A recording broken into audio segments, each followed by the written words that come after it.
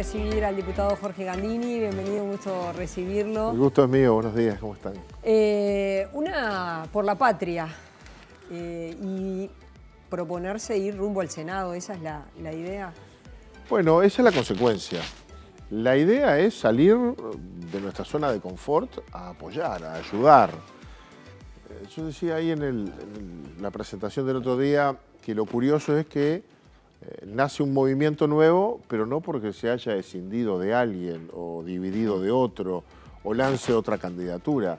Nace un movimiento nuevo que sigue estando donde estaba. Nosotros seguimos estando en el tronco wilsonista del partido, seguimos apoyando para las elecciones internas a Jorge Larrañaga, pero entendemos que podemos ayudar más al partido si construimos otras rutas de entrada que aporten una visión que el partido, pero sobre todo el país necesita. Me parece que al país le hace falta wilsonismo, yendo a la esencia de lo que fue el wilsonismo y eh, eh, aportó al país. Así que salimos para ayudar, salimos para mejorar. Claro que sacaremos nuestra eh, lista al Senado, listas a diputados en todos los departamentos, apoyaremos candidatos a intendentes, es decir, tendremos nuestra propia identidad electoral también. Eh, pero mm, esa es la consecuencia de un grupo político. La sustancia es otra.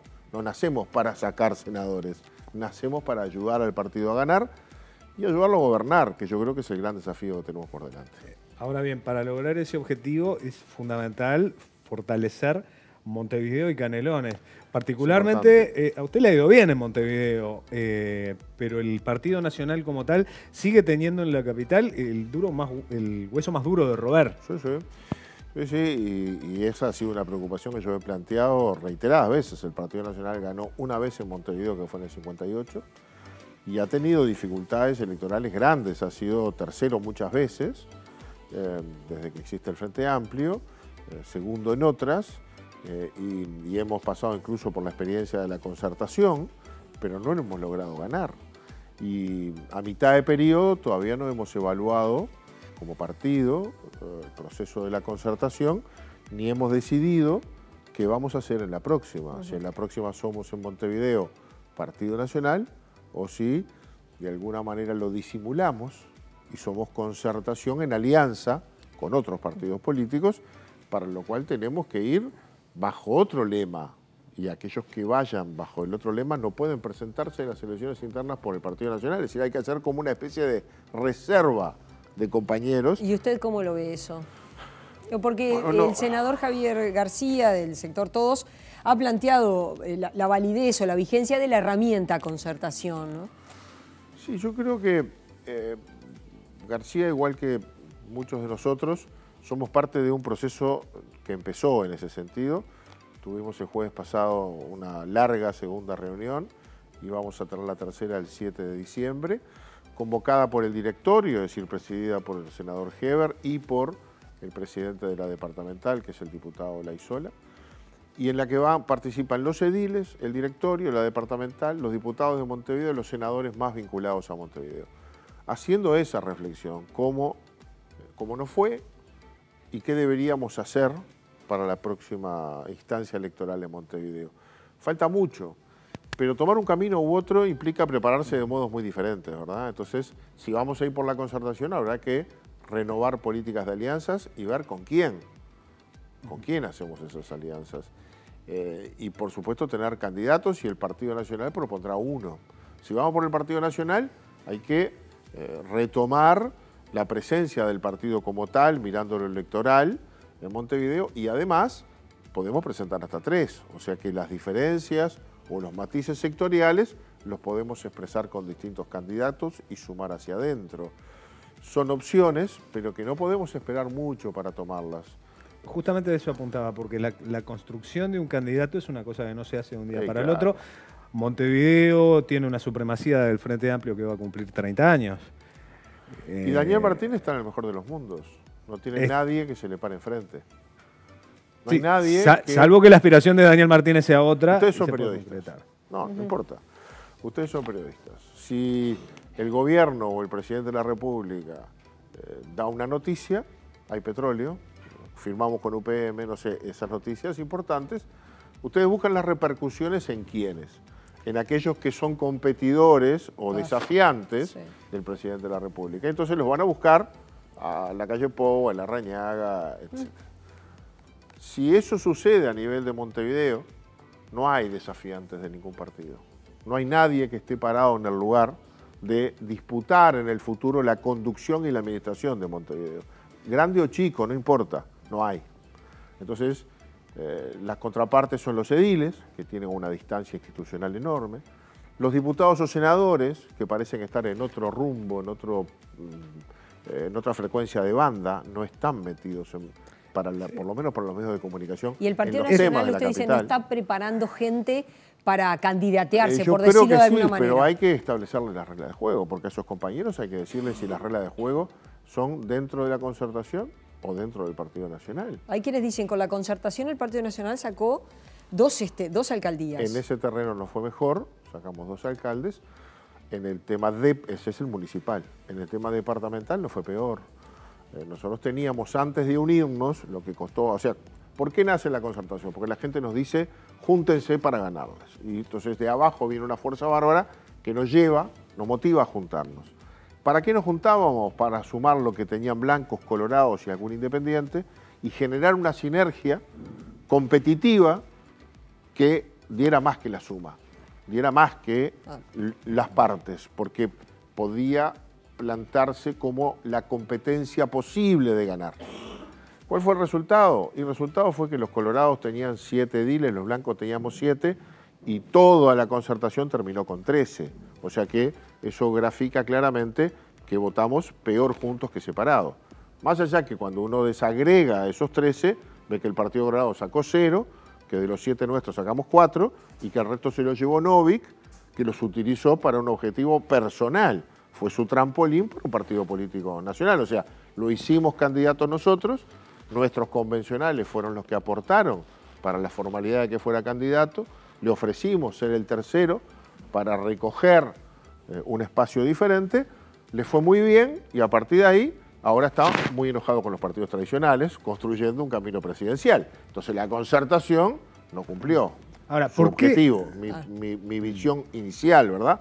podría decir algunas otras cosas que la reservo para esos ámbitos internos. Ahora, ¿por qué Jorge Gandini, que aspiró hace algunos años a ser candidato a la Intendencia, dice, bueno, ya no es más mi objetivo, mi objetivo ahora es ser senador? ¿Por qué no, no existir en esa posibilidad? ¿Por qué quienes entendieron que yo no era un buen candidato para Montevideo, ahora van a entender lo contrario. Bueno, pero la historia de Daniel Martínez, por ejemplo, marca que en 2010 de alguna manera se lo empujó, se lo desplazó y tuvo su revancha en 2015. ¿No es un escenario que vea para ustedes? No, porque el Frente Amplio venía ganando las elecciones y Daniel Martínez quedó afuera porque era competidor a la presidencia si hubiera sido candidato, en la, hubiera, hubiera sido intendente en la anterior. Es decir, lo dejaron afuera un acuerdo de los tres precandidatos. Mujica, Astori y Tabaré fueron los que corrieron a Daniel Martínez para poner a alguien que no estaba en el menú y apareció en Olivera. Eso fue una realidad. La nuestra fue diferente. Eh, el, partido tuvo una interna nacional, la ganó Luis Lacalle Pou y con todo derecho dijo, tú no perteneces a mi sector, el candidato mío es otro. Y, si la interna la ganara la Rañaga... yo no puedo esperar a, a esas instancias porque para mí hay que prepararse mucho tiempo antes. Y yo no puedo volver a recorrer ese camino para enterarme eh, a finales del año 2019 qué destino tengo. Entonces, ¿Se, equivocó la calle cuando lo desplazó usted y propuso a Álvaro? Y es muy difícil juzgar esas cosas. Puede haber diferentes opiniones. Tomó una decisión, esa decisión tuvo consecuencias. Si hubiera sido diferente eh, eh, siendo yo candidato, y no lo sabemos. A mí, en lo personal, me afectó. Yo iba trabajando hacia ese destino. Pero así funciona la democracia, hay que bancársela. Y yo me la banqué calladito, abrí la boca, si presenté mi carta de renuncia en septiembre y hablé o la di a conocer el 10 de diciembre, una vez que pasó todo el proceso electoral, para no afectarlo. Pero entendí legítimo, digamos así, porque eso es lo importante aquí, legítimo que quien ganó entienda quién debe representar. Y punto, se cerró el capítulo. Ahora, yo no sería lógico que yo siguiera insistiendo, ¿eh? porque si no cuento con eh, el apoyo eh, de ese sector del partido, no puedo ser el candidato único del partido. Fíjense, porque era uno. Si hubiéramos ido por Partido Nacional y podríamos llevar hasta tres, entonces hubiera sido diferente, porque la calle Pou tendría el suyo. Yo podría ser candidato por estos sectores del partido y aún podría haber habido un tercero. Usted, pero no fue la realidad. se inclina por porque el Partido Nacional vaya como Partido Nacional? Yo me inclino por ser realista. Para hacer una concertación de vuelta, hoy la gente no nos los está pidiendo, primero. Y segundo, tenemos que ver con quién hacemos sociedad. Entonces, creo que esa es una parte que nosotros tenemos que saber. Si los demás, esto es como para bailar, ¿no? Se necesita una pareja. Si los demás están dispuestos a recorrer este camino o están en el camino de afirmar sus propias identidades, lo que es legítimo. Yo creo advertir que el Partido Colorado está en un enorme esfuerzo por fortalecer su identidad interna por el momento histórico que está viviendo, y es lógico. Y acabo de escuchar a, Novik decir que ellos están en otro camino, pero además, si el hombre está haciendo casting público para encontrar candidatos a intendente que no sean políticos, porque los políticos somos todos malos, y él es el más político de todos, pero bueno, los políticos somos otra cosa y somos una fruta que hay que patear, es muy difícil pensar que él se va a asociar a un grupo de políticos, porque nosotros reivindicamos nuestra condición, y que desde allí y con el apoyo de la gente van a salir los candidatos. Me cuesta creer que vaya, quien fue el, candidato mejor votado de la concertación, me cuesta creer vaya a ser un socio en Montevideo de la concertación. Tiendo a pensar que está viviendo un momento de su partido con la necesidad de afirmar su partido. Entonces, no veo hoy las condiciones objetivas que hubo en aquel momento para que la concertación tenga un espacio, porque no deja de ser una ficción la concertación, es la ficción que recorremos porque no hay balotaje en, el tema municipal. Si hubiera balotaje, cada uno iba con su identidad a la primera vuelta y en la segunda se juntaban las coincidencias o las semejanzas. Como no lo hay, forzamos una, un, sistema electoral y hacemos un partido político nacional para presentarnos solos en Montevideo. Ahora, eso requiere condiciones objetivas, que yo a pesar de que algunas cosas fueron buenas de la concertación, no las veo hoy como sustento para seguir adelante. Eh, ahora bien, ¿cree que el fenómeno Novik está sobrevalorado?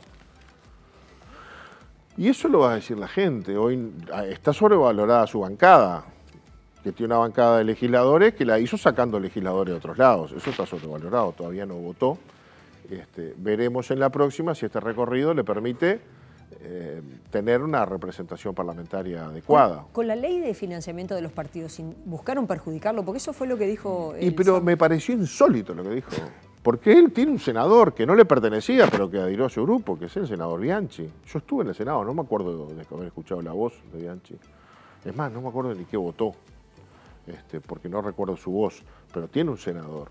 Si hubiera sido así, creo que hubiéramos escuchado su voz reclamando el atropello del resto de todos los demás que queríamos pasarle por arriba a Novi. Quiero decir que con la ley de partidos, el Partido Nacional la votó en general y votó en varios artículos en contra y es todo un tema para discutir en diputados. Yo dije en el Senado que era una ley mirada desde la cúpula del partido, no desde la base. Exactamente, usted ponía la discusión en el poder. Sí. Y claro, el que maneja la plata tiene el poder. Y, es, y esta ley tiene mucho de manejo de dinero. Entre otras cosas, de manejo de minutos de televisión. ¿Eh? Son los partidos políticos, sus estructuras, en las que están básicamente los senadores, los que van a definir eh, cómo se distribuyen los minutos de televisión en Montevideo, en Artigas, en Soriano o en Durazno, en los canales eh, públicos y privados del departamento, de cada uno de esos departamentos. ¿Quién define a quién cuántos minutos? ¿Y cómo se define a quién de los que no están hoy pero son desafiantes le doy? Recordemos que en cada elección se renueva entre un 60 y un 70% de los diputados. ¿Por qué? Porque hay gente que no lo es, que sale a disputar esos lugares y eso es lo que le da vida a la democracia. Nadie se eterniza en el lugar. De los 100, de los 99, hay 60 o 70 que cambian. Bueno, ¿cómo le llega el dinero allí? ¿Las cúpulas? Entonces es un tema que vamos a discutir en diputados. Gandini, gracias por haber venido y volvemos a conversar. Seguramente empezaremos por ahí. Acá nos sentamos en este sillón, ¿viste? podemos estar horas.